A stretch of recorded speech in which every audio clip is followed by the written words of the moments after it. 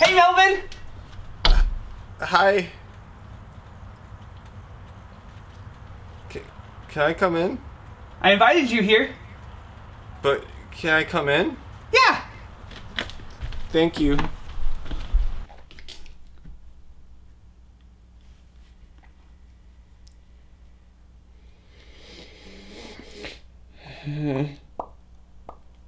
Uh, so what do you want to do, Melvin?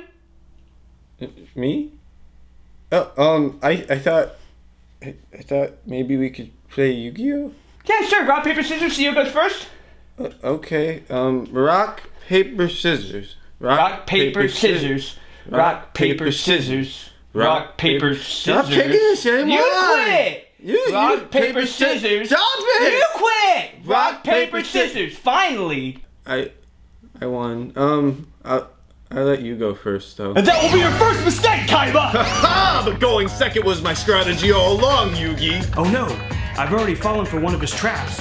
I've severely underestimated my opponents. That's right, Yugi. You've already fallen for one of my traps. and I will draw! Drawing twice in the same turn? What exactly is he up to? And for my first move, I will summon La Jinn, the mystical genie of the lamp! Oh no, he summoned La Jinn, the mystical genie of the lamp. The genie which resides within the lamp. The lamp that has a genie. That is right, Kaiba! You will never summon a creature strong enough to defeat my La Jinn! That's what you think, Yugi. I draw for my turn. And in my turn.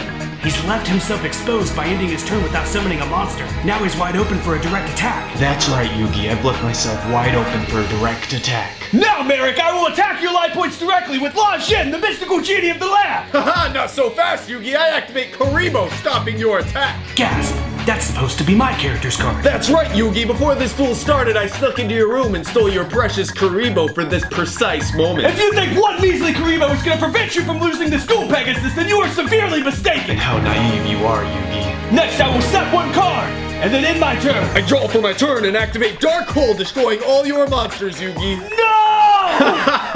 you will pay for that, Marik. That would be the last time that you destroy any one of my monsters. Haha, that's what you think, Yugi. I summon the Dark Magician and attack directly. One more attack like that, your life points are over with. I summon the Blue Eyes White Dragon and attack your Dark Magician. Dark Magician's my favorite card, though. I, I didn't, I didn't know it was your favorite, Eugene. You could, you, you, you could summon it again. No, I, I can take back my no, attack. That's cheating. Uh, but, I'm, I'm sorry. And I will draw for my turn. Haha, Yugi, how do you expect to defeat me with only two cards? I reveal Exodia, the forbidden one. Exodia, obliterate. Ah! Oh, oh, oh, fuck, oh, fuck, fuck, dude, fuck, fuck, fuck. Shit. I had a lot of fun today, Eugene. I did too.